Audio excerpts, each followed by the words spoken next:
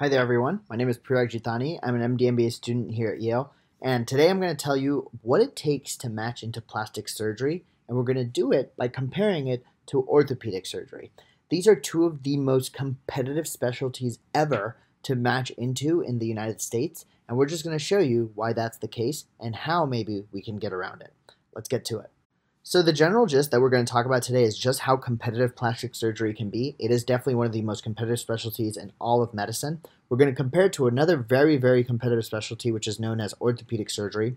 The point of this is to understand step one scores, the types of experiences everyone does, and the whole gist is that we hope that by doing this, we can actually provide you information to match match accordingly. The comparison is more for fun and contrast. It's not intended to imply that one specialty is better than another. But to put everything into context, I will tell you plastic surgery this year in 2022 had a match rate in the integrated six year program of about 55%. 351 people applied and only 194 matched. That means about one in two people applying to the integrated six year plastic surgery residency did not match. Similarly, for orthopedic surgery, 1,470 people applied for orthopedic surgery residency spots this year, and only 875 matched, which, which leaves an average match rate of about 50%. I want you to know that, in general, about 80 to 90% of people who go to MD or DO schools tend to match. That's the overall match rate. But these specialties are that competitive that their match rates are usually around 50 to 60%. So now let's just get straight into the demographics of plastic surgery residents. So this slide actually shows the number of total plastic surgery residents across the United States right now.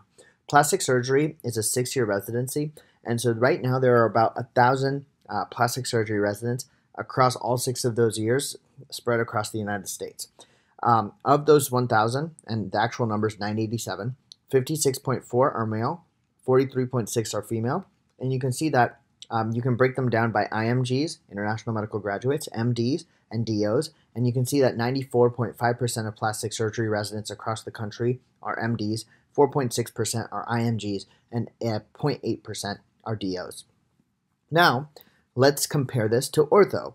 You can see that ortho um, has many more um, residents across the country, and part of this is just the demand um, in terms of the number of orthopedic residents.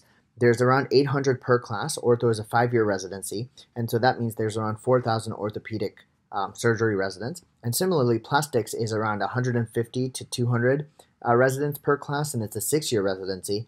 And because of that, there's around 1,000 uh, plastic surgery residents. You can see that obviously plastics and uh, ortho are uh, male dominant, um, which is this uh, existing trend that is slowly starting to change. But you can see the discrepancy is a much um, much less stark in plastics than it is in ortho, which tends to be a little bit more male dominant. Uh, the similarities uh, are between MDs is still true. Both orthopedic um, surgery residents and plastic surgery residents tend to majority uh, majority BMDs. And then um, the difference is that ortho has um, DOs in second, and then um, plastics has uh, IMGs in second. Now, if we want to focus on step scores, let's talk about plastic surgery step scores and then we'll compare them to ortho. So you can see here that this table displays the uh, statistics for the step 1 and step 2 scores. Step 1 and step 2, until this year, step 1 used to be graded on the same numerical score that step 2 was. Um, and so because of that, they actually can create something like this.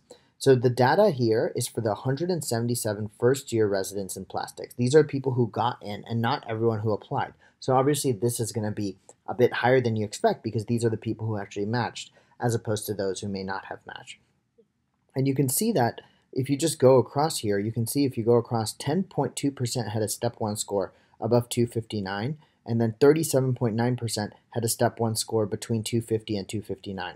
So if you look at just 250 and above, you can see that almost 50% of applicants uh, well, not applicants, 50% of those who were accepted had step 1 scores above 250.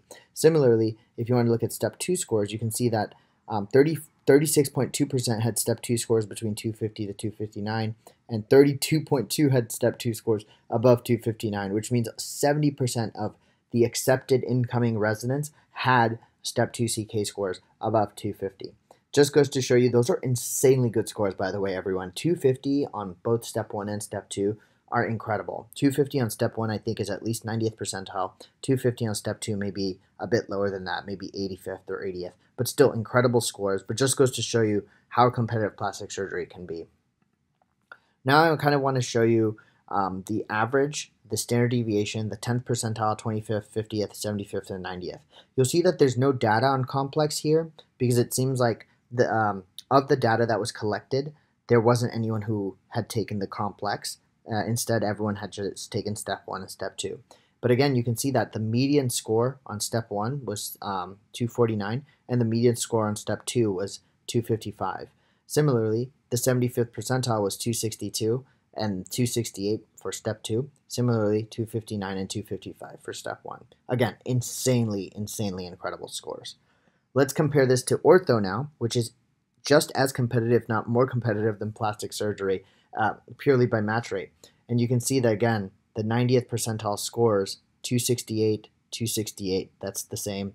Um, and then if you look at step one, it's 260 for ortho, 259.4 for plastics. Let's look at the median score. It's 249 um, versus 247, and then 254 for step 2 CK versus uh, 255. So quite literally identical scores. We can't compare COMLEX or COMLEX because um, because we don't have COMLEX data for plastics, but we do have COMLEX data for ortho. So you can kind of see that here. And I've also made a separate video on ortho if you want to watch that. I'll link it right above, right here. Um, so that's the general gist um, for step one and step two scores, and hopefully that's helpful for you. The next thing I want to then talk about is research because people always think about research, publications, and that adding onto your step scores. And again, plastics is so competitive that we can actually look at the 177 people who actually matched, and you can see that there's a 90th percentile, 75th, 50th, 25th, 10th, and average. But you can see that the average number of abstracts, presentations, and publications, add all of them up, because an abstract, you may have just presented it, you don't necessarily have to publish it, but the average number was 20. The average number of research experiences, which isn't necessarily just publications, it could be a research project you did, a mentorship opportunity, whatever it is, the average number there is 5.4. The number of work experiences is 3.7, which is usually when you get paid for a job.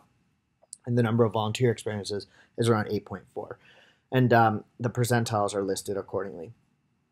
Let's now compare this to ortho, and again, it's going to be very similar, and don't get intimidated, but you know, just just to show you how competitive these specialties are.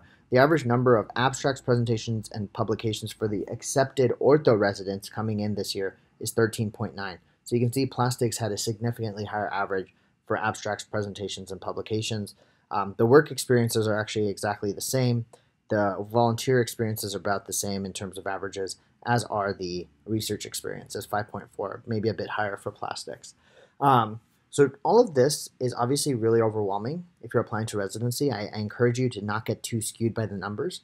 These are all intended to inform you, to help educate you, to help you see that sort of landscape. But again, remember statistics apply to populations, not individuals. So this is intended to just inform you, to show you the kind of vibe that certain specialties have, and at the very least, I hope it was educational for you. Um, and if it was, please drop a like, comment, share, subscribe, and let me know if there's any other specialties you want to see. I'm happy to do them, and we'll go from there. Thank you all for watching. I'll see you all in the next video. Peace.